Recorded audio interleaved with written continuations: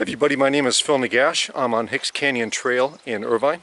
I plan on spending this time uh, keeping my family safe, staying healthy, and riding and running as many trails in Orange County as I can.